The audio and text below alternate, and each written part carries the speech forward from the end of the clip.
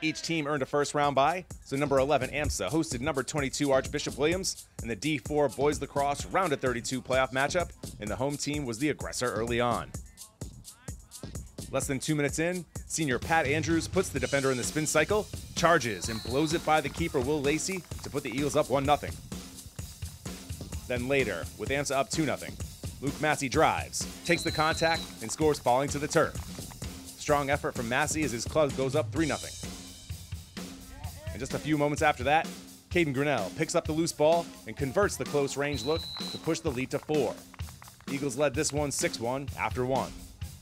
In the second quarter, Coach Arena's club wouldn't score into the later stages, but they were still able to extend their first quarter lead. Here's Thomas Hirsch. He tallied a couple of goals on the afternoon.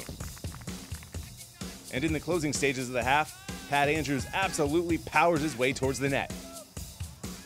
And with two seconds left on the clock, he scores and takes the big hit. Then he hits them with the celly as he busts out the LeBron silencer. Eagles led this one 8 2 at the half, and they go on to win 12 7. AMSA advances to the D4 round of 16 to take on six seeded Lynnfield.